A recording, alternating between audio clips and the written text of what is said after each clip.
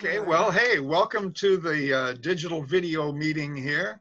No, no, no, no. Orange County Multimedia Association in its finest hour. and Paul, our uh, past president, Paul Tetreault, up in uh, Running Springs. Is that where you are? Running Springs? No. Falling Bear? Forest Falls. Forest Falls. I, it was one of those trick names. We've been there, I know. But uh, first, before we have him start his presentation, I think we were going to get a short announcement from Cynthia or Ivan about their meeting. Was that right? Take it away, Ivan. Wait, I can't hear you. I'm way out on the golf course. Yeah. Uh, yeah, uh, a couple of things. First off, our meeting next month, we will cover or start a series of, uh, of sessions on Premiere Rush, which is their Adobe's um, phone application as well as a desktop application to allow you to shoot video quickly and post it to social media very quickly. Um, so we're going to be doing that. And then also we will have our raffle for the um, for the Creative Cloud subscription. Uh, instead of doubling up this month, we decided to to split it and and get you to come back in Jan- in July Yay! that's primarily what we're going to do. We may do, we may cover some other things. Also, I wanted to tell you, and I'll put this in a chat box on uh, on the uh, Zoom call. Uh, I have put uh, a file, it's a zip file up online uh, of 200 Photoshop brushes. Way back when, when I was talking, when I did my presentation on brushes, um, I got these from uh, you know, from various sites online and combined them. And there, there's some nice ones. You know, you can take a look at it, download it, see if uh, if you want it. If not, it's um, I think the file size is like 64, 65 bi- megabytes. It's not a very large file, but it might uh, spur your creativity by uh, having those. So I'll make that available uh, in just a bit, and so you can go and download it. Uh, before our meeting ends. It, it'll be up there until the until Friday, and then after that, I'll be taking it down. So, first of all, welcome everybody. It's good to be back amongst friends, uh, even though we're doing the Zoom meeting. Uh, nice not to have to drive down to Orange County from up here on the mountain. Um, so, we're going to be talking primarily about a video that I created that I've showed to a few people, including Bonnie, and she was really excited about the way that it turned out. So, I'm going to talk a little bit about the uh, how it came about, how I did it, and then we'll have an opening for some uh, questions if you have any uh, questions on what I did, how I did, why I did. But it would certainly be better um, as we start to talk about it if you've actually seen it first. So, in the chat box, wherever it is for you, um, there's a link for a video that says Wagon Wheel, and if you if you're not familiar with it, there's a fairly popular tune um, called Wagon Wheel that in uh, the the jam circles that I happen to frequent uh, is one of those just regular songs that lots of people like to play. So, um, just to start off with, let me just say that you know, uh, in addition to my love for multimedia, video production, photography, all that fun stuff that you and I share together, uh, I also get involved in music production and I play bass, a little bit of keyboards here and there, and um, so this is the you know uh, uh, product generated from from that. So if you want to take just four or five minutes, I think it's only four minutes long. The YouTube link is up in the uh, chat box if you can kind of get to that. I would love it if everybody got a chance to take a look at it first. That way, as I'm going over the concept of it and some of the details, you'll know what I'm talking about. And may I suggest that everybody mute themselves while they go and watch it so that we don't hear it over Yeah, so you know how to find it, you guys? Uh, uh, just go into the, click on the chat in the bottom there, uh, little, little uh, icon there for chat, and then that'll show you up the, uh, the link here. But use Command or Control Tab to chat, be- to bounce between your things and make sure you get back. Yeah, Okay, yeah. Should we all do it now? okay, ready to Okay, I'm going to mute myself and I'll be back in four or five minutes. It's Okay. 6:48 right now. We'll resume back at 6:55. Okay. Oh, I love it, I love it. Oop, wait. Okay, my Nicely done. All right, that was great. I, Okay, we'll go ahead and get started now. Um, so the first thing I want to make sure everybody understands is we did not use Zoom to create that. Zoom had nothing nothing to do with the production of that. Um, I know that some of you can't show me your hands, but for those of you that can, let's do a quick show of hands. Let me know who has ever heard of a project called Playing for Change. No. Okay, well, that was the inspiration for this. Let me explain just a little bit about that organization. Um, it wasn't it wasn't initially an organization; it's become one.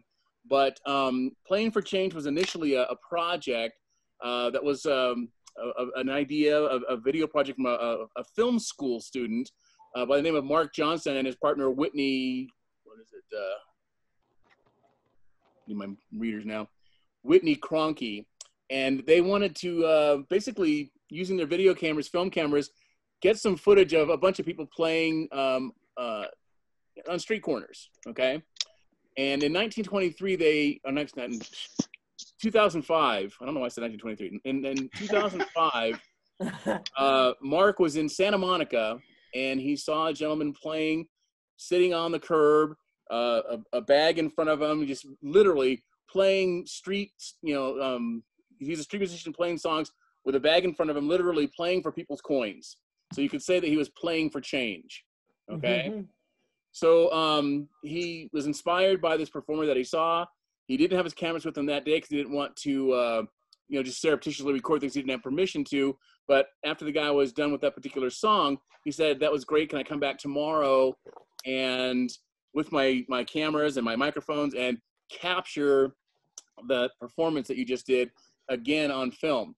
And uh, the gentleman's name was Roger Ridley, and he said, "Yeah, sure." So um, you know, Mark and Whitney came back the next day with their audio stuff and their film stuff and recorded him playing. And then they took that video and they took it around the world. You know, uh, Amsterdam, Venezuela, Italy, Spain, uh, the Navajo Nation, and, and just they had all these different musicians play with that video that they shot in Santa Monica. Okay. And then putting it all together, it was their vision that this project would allow for the you know global peace and harmony so they, they were literally trying to use this project so people could be playing for global change so the name playing for change starting top. with the street musicians and then you know coming to a worldwide opportunity for peace and love was you know the where they got the name so i'm, I'm a sucker for clever things to start with so uh, I was doubly inspired when I fell in love with the the piece that they did. Much like Bonnie was talking about my video, I felt that way, you know, even more so with the playing for change video. So when you get a chance, let me go ahead and put this over in the chat too. Um, one of these days, you're gonna want to check this out. All right, so I just put that video link in there. And if you're interested in finding out more about the organization, I'm going to um, put their website video in there as well. I am not affiliated with Playing for Change at all. I'm just totally inspired by them. So, um, where it says PFC website, that's Playing for Change. Um, they had actually done so well and gotten so many views. They're they're up to several, you know, hundred you know, million views uh, worldwide. And uh, after this first one, it caught the attention of some media moguls like David Geffen and how many of you guys know David Geffen's name is? Anybody familiar with that one? Okay, good. He's part of the Spielberg's SKG. The G is Geffen, so he's you know playing with some big players up there. And uh, so anyway, they started doing many more of these. So there's probably 20, 30 different playing for change videos with this concept format style that they're doing now. And they've got everything from reggae to country to pop and folk. And so if you if you like the first one, which the song is "Stand by Me," which was originally done by Benny King, the the um, lead singer of the Drifters. Remember "Stand by Me"? Yep. Yeah. Okay, that, that's the song that he's starting with, and it was really kind of cool because that that song, just even the lyrics alone, have a lot to do with the project they're talking about as far as conceptual. Uh, so anyway, um, having been inspired by that, I um, wanted to create a project very similar. Now, I told you before that I, I'm a musician. I play bass. Just The want to problem- interrupt you a second, Paul. I just got that notice that said your meeting will end in 10 minutes. What? Upgrade for more time.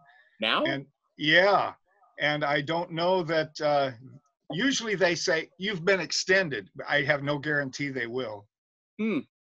All right. Well, let me go quick. Um, Do what you can. bass. We can t- continue. Go ahead. So um, I'm a bass player, and unfortunately, most people don't want to listen to bass by itself. No, no one really likes to stand for a bass solo. So um, when I play, I typically play with other folks. And so, being inspired by the the program Playing for Change, I said I wanted to do this with some of my friends. Up on the mountain, I don't get a chance to play with a lot of people, so I go down the hill to Redlands, Yucaipa, Highland, and down there, a variety of the watering holes have open mic nights. You know, where anybody who wants to can kind of sign up for their little slot, sing three or four songs, and then the next person goes on. Well, um, again, people don't want to hear a bass player, so I asked, I, I listened to the people that are playing, figure out what songs they like, learn them, and then ask them if I can play with them during their set. And they've been very generous, and so I've been able to play with a lot of different people in you know, you know, several times a week. And so I figured I would take this particular group of people, which is it's not a band, it's just a bunch of people all playing the same watering holes, you know, on a kind of regular schedule. We got guitarists, we got singers, we got mandolin players, we've got ukulele players, blah blah blah blah. And so um, I wanted to create a project based on this. So that's where uh, um, this whole kind of thing started. So um, the um, one gentleman by the name of Chuck Craw, who played Wagon Wheel on a regular basis, uh, got to be a song that a lot of us would jam to. And um, so I, I figured I was, I was going to use him as my start point. So I talked to Chuck about the project, and uh, we scheduled a time that he and I could get together and shoot. Um, my idea was to go to a variety of these watering holes and do all this kind of stuff on a person by person basis. But we started off by going to Chuck and his house, and it was good because I, I got him recorded like two days before he moved to Minnesota. So I didn't have to drive all the way to Minnesota to, to catch him. So I got him here in Redlands, recorded his, um, what I'm calling the master track. And for anybody that wants to do something like this, I highly encourage that you start with a master track. Some of you have been seeing a lot of different video projects online that people are doing, and it looks like they're playing together. They're not. There is there's Zoom sucks for synchronized video production. I don't know if anybody's tried to do anything, but you'll notice whenever you say something, there is a lag, even if it's you know uh, you know half a second. But if you hear the half a second later and you try to play to that, now it's going to be a full second before your stuff gets back to them. So it just doesn't work. There's a couple of um, media platforms like Zoom that are trying to create a special, you know, latency-free environment uh, like JamKazam. I don't know if everybody's ever heard of that, but everybody that plays has to have a special piece of equipment that does analog to digital conversion on the fly before they even hook into the uh, you know audio video stuff. So anyway, um, I got the um, track of Chuck. and He's one that kind of starts things off when he's, he's the one that's singing the main thing, and you saw him playing guitar. I shot that with my Canon DSLR. Everything else you see in here is cell phone footage by the actual artists themselves, because as the pandemic locked us all in, I wasn't able to go out and shoot everybody.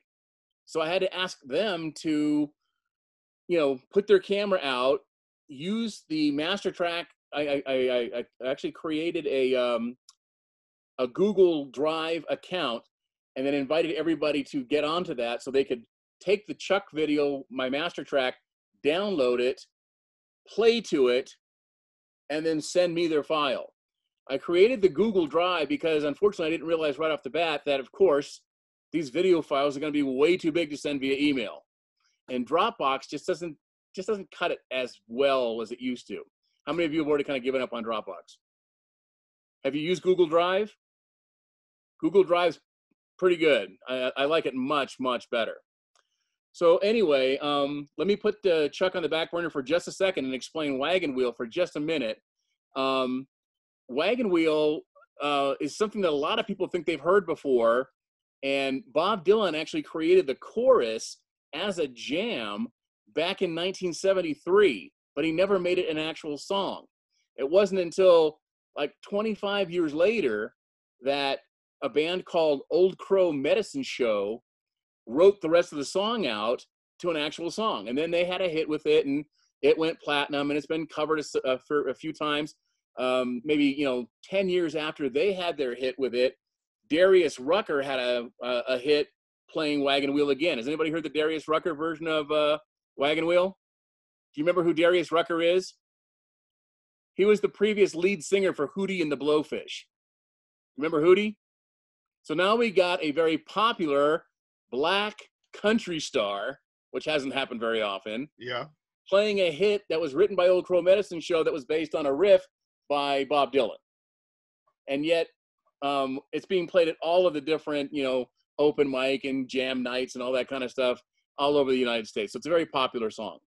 So anyway, um, we um, I that, that's the song that I chose to to to do this with. So anyway, um, now that you've actually seen the video and I've given you a little bit of background as to what I wanted to do and how I started it off, I do want to mention a couple things. I just totally blew it um, in getting this project going. So if you got pencil and paper, now's the time to take some notes because I'm going to give you a few do's and don'ts. I've already given you one fairly important do, and that is use Google Drive. It's a great way to work with a group of people when you've got large files and uh, you want to be able to assign only these people can have them, only these people can have them, and um, you know get their content up to you. You do have to manage it like Dropbox. It's got its it's got its amount that's free, and you can still have to maybe pay more if you want unlimited.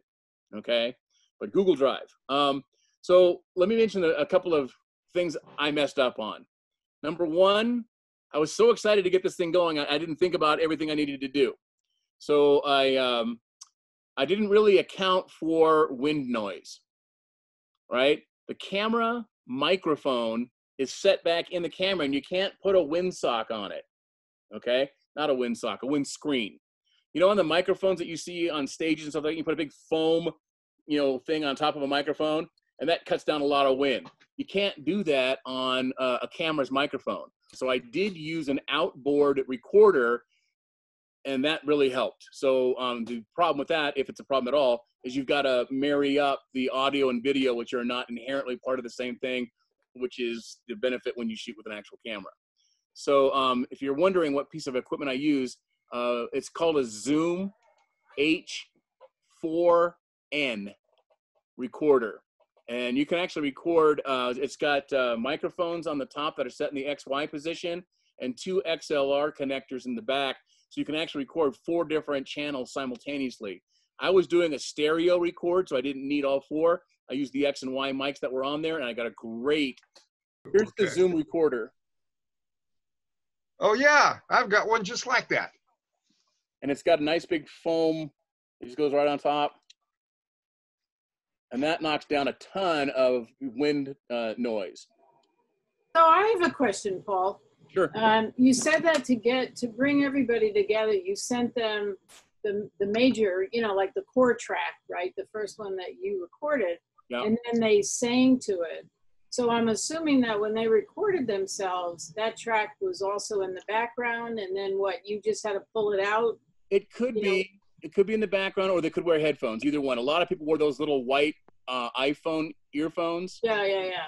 and other people, if if the track was in the background, it really didn't hurt too much. It's not like a car driving by where it's disturbing. It just becomes a little. It almost helped me line things up.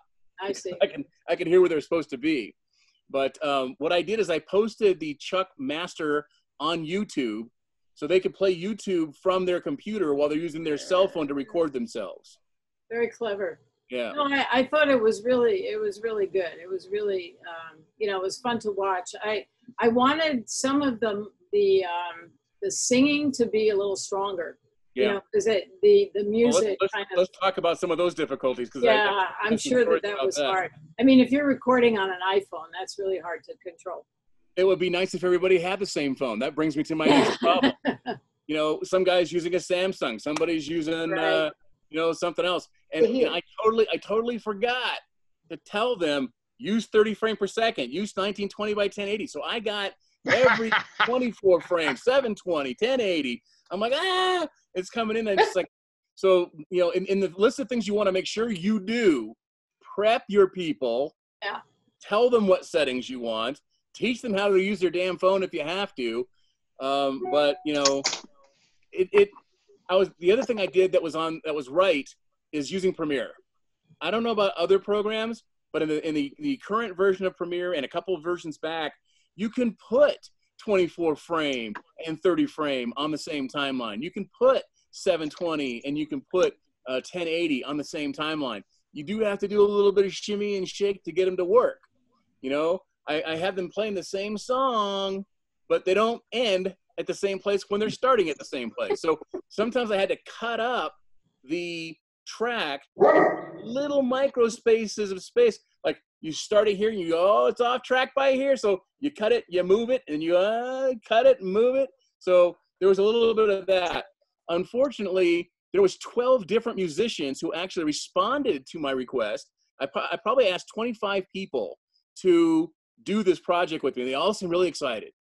Only 12 people gave me anything, and two people gave me two tracks. So you might have noticed that the girl that plays accordion also has a completely separate uh, backing vocals track. And the guy that played mandolin also played harmonica. Okay, so 14 tracks, 12 performers um, is what I had to manage putting them on there. Okay. The other thing I didn't pay attention to, which I should have, is the harsh sunlight of midday sun. If you look at the you know the master track video, even though I shot it with a better camera than a cell phone, he was wearing a baseball hat, was going right down over his eyes, and I had to make sure he tilted up. And then even after I recorded it, was still really dark all over his face. So I had to use my uh, video effects in Premiere to light it up using a, a levels modification. So I, I, should have done a better job. I, I should have brought my uh, six by six, you know, um, diffuser screen. Y'all know what a diffuser screen is? Yeah. It's like, a, it's like a white sheet that has a certain level of translucence. So when you put a light or sunlight behind it, you're creating controlled shade. And that would have gone a long way to making the overall image more manageable. So if you've ever had to shoot in midday sun, you know, you know what that's like. Uh, and I, I, should not have let him wear his ball cap, but you know, what are you going to do? Put it on right. backwards. that would be a good idea. Um, the a couple other things that I did that were definitely a plus, and write these down on your list of things that you want to make sure you do. Wear headphones when you're recording audio. You can't just take it for granted. You have no idea what's going on in the background. That's where I heard the wind noise and realized I needed to like do multiple takes so that way the wind's not always going to be in the same place on each track. So if I got two, maybe three takes, I can blend it all together and not worry about there was wind here or whatever. So um, multiple takes, a big plus. Wearing headphones, a big plus. Using an outboard audio recorder, big plus. And make sure you have a some way of suppressing the wind noise like that microphone windscreen. If you've got a really nice long microphone, like a, a, a, shotgun mic, those work pretty good in these situations, but they have these things that go over it called a dead cat. How many of you have seen or worked with a dead cat before? Anybody see a, a like a, a sound operator with their boom pole and this really fuzzy thing at the end? That's a dead cat. Okay, um, so we talked about a couple of do's and don'ts. We talked about uh, the background. Um, we're talking a little bit about how we gathered the content. Um, definitely, if you get a chance, make sure you are, you know, giving them your preferred settings in advance. The master clip I did was 1920 by 1080. Fortunately, I only got two sizes. I got uh, 1920 by 1080 and 720. Um, so the, the two standard HD sizes, so it wasn't too bad. Um, I did get 24 frame and 30 frame. So anyway, the other thing is is make sure that you tell your people who you're going to be using in this to keep their their cell phones relatively close to them. Did we talk about proximity effect already? did I just talk to uh, Terry and Bonnie about that earlier? How many of you have heard of proximity effect? You know what that means?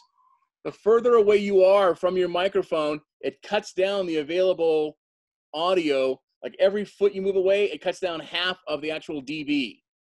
So if they're 20 feet away using a cell phone, it's, you know, you're going to have very low levels to manage. You want something that's, you know, you'd rather turn it down than have to turn it up to the point you can't even turn it up anymore. All right. So try to make sure that they keep their microphone relatively close. If they're using an outboard recorder, or if you're using an outboard recorder like I, I recommended, then um, you can put the microphone close and still have the camera back. That's kind of cool. Because uh, a couple of the clips that are in there look really cool. That the you can almost have like a full body of the the person. Did you see the the the, the clip of the the gal playing violin? It was nice to have all that background and stuff in there to kind of break break it up a little bit. But um, the audio that came from the mandolin player and the accordion gal, so much easier for me to work with because they were right there. You know, it's a head and shoulders kind of a thing. All right. Um, the other thing I forgot to do is I did not give them an, uh, uh, an immediate deadline. I said, ah, just do it, get back to me, we'll see what happens. And oh man, it just took me forever to get anybody to give me anything because they can always do it tomorrow. I finally had to start calling and say, hey, I'm going to start editing that thing. Are you in or out? You know, and, you know, kind of really turn the screws a little bit. So uh, that was pretty important. Paul? Yeah. Yeah. Did you, uh, when you were using the 4N, did you do stereo? Did you Yes. record stereo? Yes. Okay. What about, did you convert that to mono It's got, afterwards? no, no. It's got the con- it's got the built-in XY. Right. The only time I had to convert it to mono was for YouTube.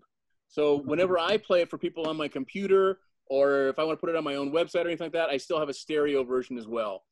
But suffice to say, most people recorded it on their cell phone, so a lot of the stuff that came in was already set for mono. But I still at least have the ability to pan. So if I really want to, from a sound editing perspective, I can still, you know, put the sounds in different places. I do want to talk about a couple of the techniques that were really worked out for me. So um, the first thing is manage your audio first.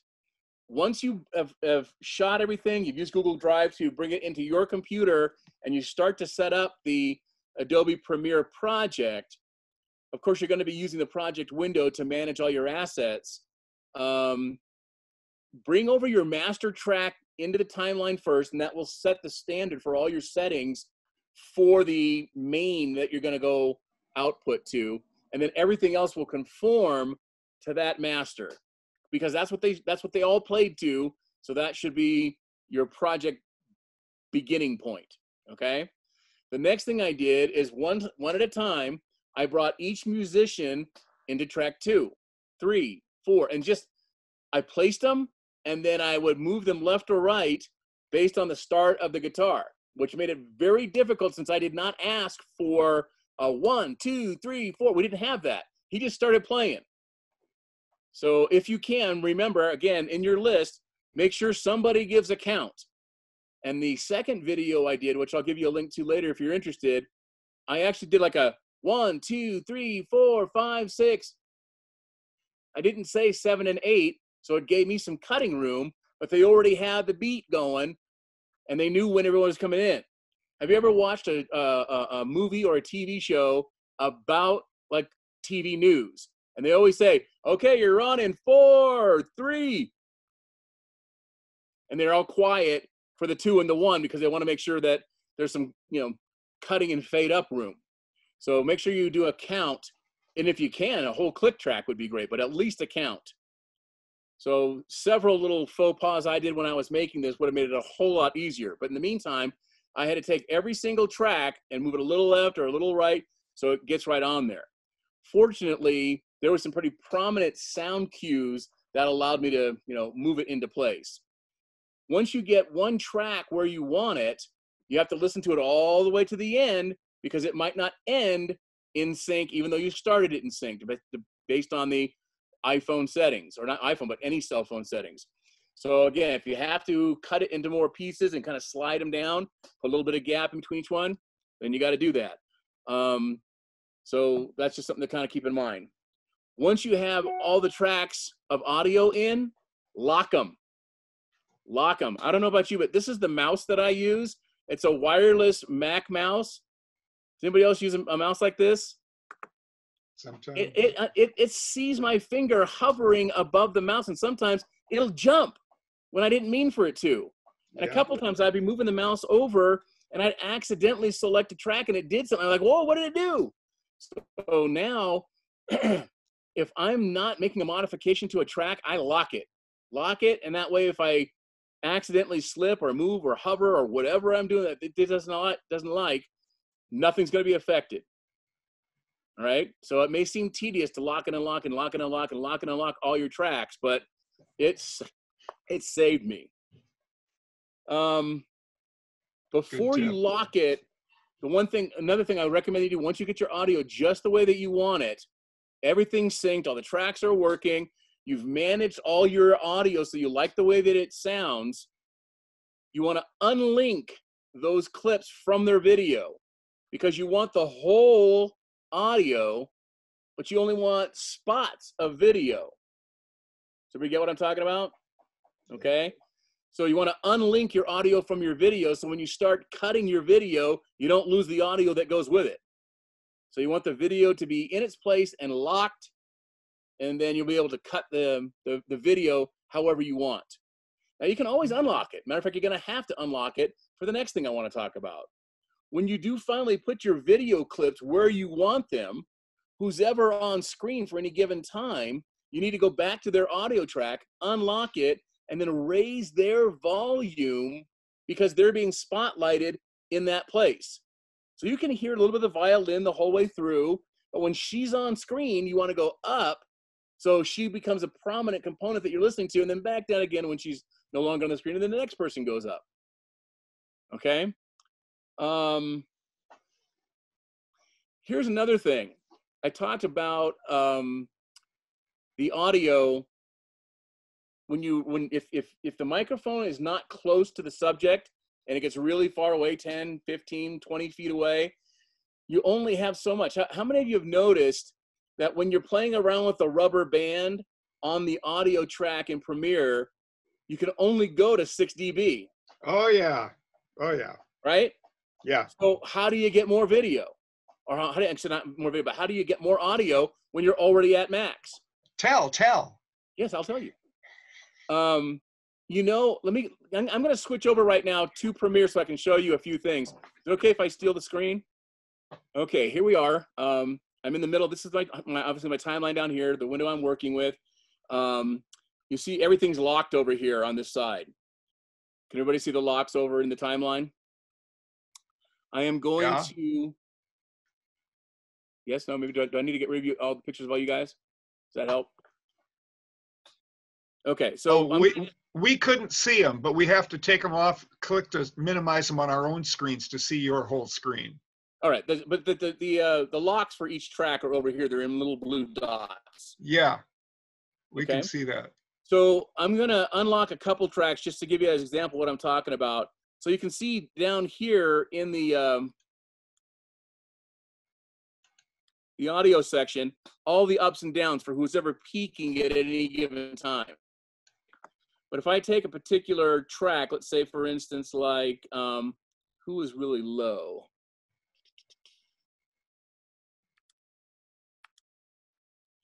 Cindy on bass was a little on the low side, so I'm going to click on one of her tracks over here, and that should show up.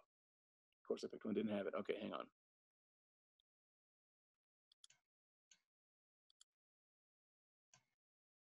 All right, can everybody see volume? If, if you look in the actual effects control box, it says volume up here. I put a whole nother volume in right here. So I could only go up to 6 dB, but by putting an, another instance of volume, I could go basically equivalent of 12. so down here under audio effects, you can choose volume. And if you just drag volume up into here, you can get a whole nother instance of it. Oh, how nice. Okay. Cool. That's what I did is um, to make sure anything that was too low was able to be um, uh, you know, brought up. And so if you're if you're peaking on your your audio uh, rubber bands down here with the uh, pen tool, then um, you know adding another instance of volume as an effect will give you that much more room to work with. All right. Um, the other thing I want to talk about, as long as we have this up here, is back over in the uh, video side. You notice how many you know tracks I've got going on here?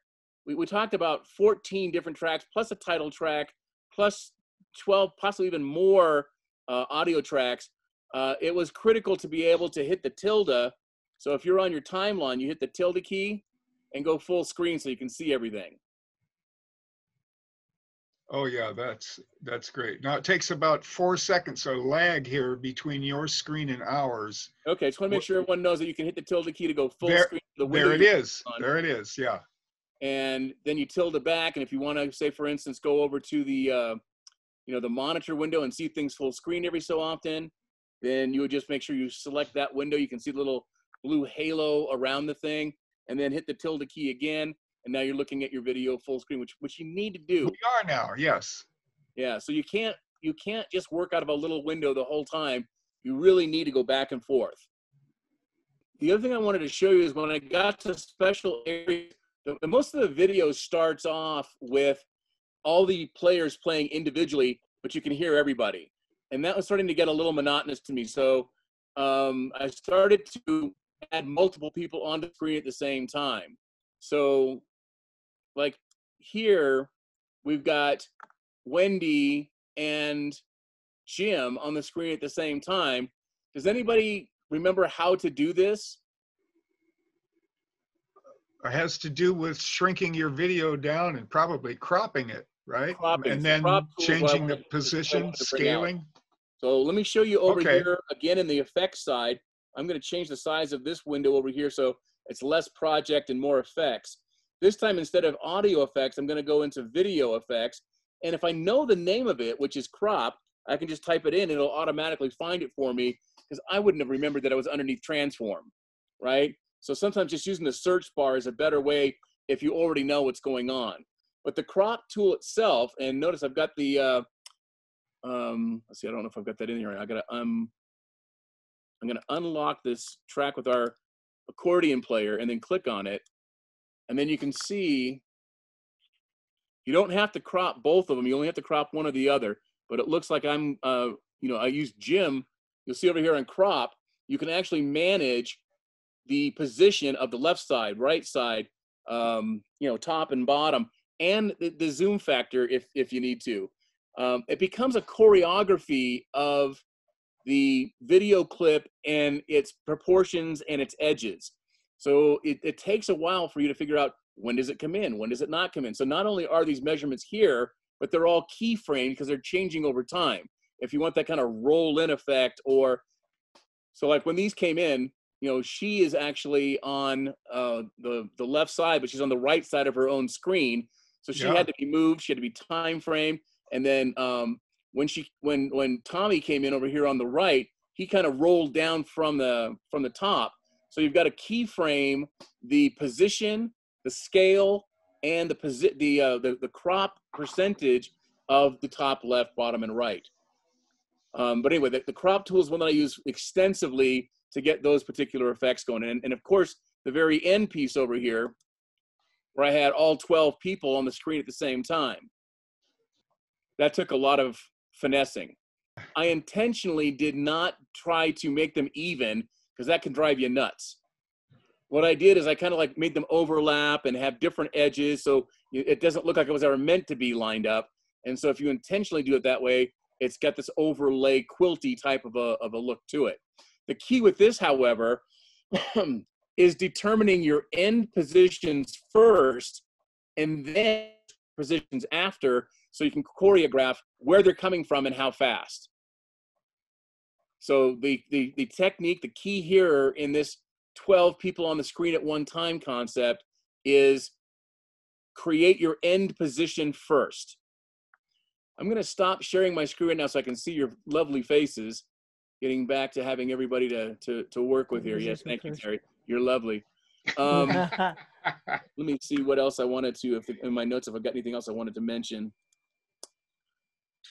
We talked about the tilde. We talked about oh, um, the segment that we we I showed you where they um, they're kind of on the screen all by themselves, and then the title comes up on the bottom, right? Mhm. So you know who they are and where they're from. Yeah. They all have the same font, same font size, same placement. What made that really easy is you make the first one, then you copy it, change the name, and then change the content. So when you copy it and change the name, the new file has the exact same settings as the last one. You go in and you just change the name of the person, the name of the city, and everything else is already still in place. That saved a ton of time. Hmm. So instead of saying uh, file, new, title, and like, what did I do? What were those settings? What font did I wait? So many things look the same or sound the same or feel the same. And then you might say, oh, I forgot to put a shadow on that one. Just copy the old one, change the content. Yeah, Right. good tip. Oh, here's another one that helped really well. If I did a graphic move for uh, like like two on a screen, and then later on I wanted to be something very similar to that, but with different video. Did you know that you can copy a video clip and then select a new one? And when you say paste, you can paste just the attributes so it doesn't replace the clip that you want with the old stuff. It only puts the settings on there. So if you've had Okay. success once, you can recreate that by pasting the attributes and you can select with a little checkbox exactly which attributes you want to select. So if it's just duration, fine. If it's just um, uh, volume, fine. If you want to do just like a, a ramp up and ramp down of the opacity, you can you can copy and paste just attributes. That was very helpful for me when I was doing this. Yeah, I've, I've done that with uh, color correction, color Mhm. grading. Absolutely. Yeah, just paste attributes. That's just really great. The other thing I wanted to uh, uh, impart to you is, you know, the, the video project, once it was done, I liked it. It was good. But I felt just starting with the guy playing was a little amateur. So I added on an opening. How many of you like that little little opening I put on? Uh, That was yeah, it was pretty cute. So I Mhm. tried to make it look like an old silent film movie card that would come up and you know say something like like there's you know footage and there's a card that says ah or whatever you know the, the their version of audio back in the silent movie days. And I was actually able to go online and and find a um a, a I just I just googled uh silent movie film placard and I got a half a dozen things I could choose from and then I, I pulled that into After Effects and just did a little bit of um, brightness and you know kind of like flickering type stuff, like the with the using the wiggler with some lumina, luminous uh, elements to make it look like it had a, a had a film flicker in it. Nice. So um, the audio that's in there, uh, there was a point where the banjo player was playing something really kind of lightweight in the background. I pulled that in so I, my my intro would not be silent. And then there was a point where the girl who was singing backup vocals for the chorus was humming during another part, and she was just trying to get her um, her her voice in the right spot. And she knew I would cut that out. What she didn't realize, I actually used that in the very beginning over the banjo just to create a little bit of flavor. So that was kind of fun. The point that I'm making about it is get your main video done first so all the pressure's off, and then you can play around with some fun stuff after. If you had a deadline that you're approaching, the main project being done, if it didn't have an intro, so be it. You did the main job. But if you got some time left, then you can really gussy it up and take the thing to a new level with some really fun little elements. And because the film placard was kind of in a uh, black and white, it was it was actually more of a sepia tone, but um, because it was in that kind of monochrome element, when the video first started, I just drove that right in and made him show up in black and white, and then brought him into the color world on on a simple uh, keyframe for color. There's a black and white filter you can get as a video effect, and you can just keyframe that to drop down like opacity. So that that became my opening. And you know, if, if you're gonna do it, you should bookend it correctly at the end of any given video. Even though this one was for fun and was for free, um, give yourself and everybody that was involved some credit. So don't forget to add the credit. So many videos I see that are posted on YouTube or done with this, that, or the other. Um, it just ends and it ends. But I mean, this took some time, this took some effort, and I'm hoping that some of the people that see this really like it. And what the hell, having my name and address on the back of that, they might shoot me an email and say, "Hey, I like what you did. Let's do some business." There you Nothing go. wrong with that. Nice. I'm just saying, if you're going to do something with a lot of things on screen, the Uh-huh. end position is important. So make sure you get that first, then decide how they're going to come flying in, when, Okay. how far. But get your end coordination first, because if you if you have them all set up on the edges, you, you it's going to be so much harder to maintain the choreography to get them all together. So Right. start with your end position and then work backwards from there. Okay, good. All right. Nice tip. Okay. Very good. Yeah, that's great. Is anybody thinking about doing a music video while we're all here in lockdown? Uh, I've been doing a couple for the blues groups in Orange County, so Right. I, I, I like it all. I've been using Premiere on them myself. Yeah. Well, I'm going to open up my chat thing here again real quick while you're doing the uh, raffle, and I'm going to throw a video for the next one that I just finished. I wanted to do another good. video with a different group of people, and um, I didn't want it to be exactly the same as what I did for Playing for Change. Because if you look at the Playing for Change videos, they're all thematically the same. The only thing that's different is the players and the song. But I wanted a little visual mix up. So I'm going to show you this John Denver song that we did. I got my when you little, get a chance, folks, Take Me Home Country Roads is the latest one that I just did. before we do the raffle, God, Paul, this is great. You did such, hold on. you did a great job. Very thorough. I took a whole page of notes. Really Hey, we have it recorded so you can watch it again. Yeah, so it was really great. Thank you so much. I really appreciate it. My pleasure. I'm glad you guys Yeah, called me back. Yeah, It's always fun to Yeah. play with you guys. yeah.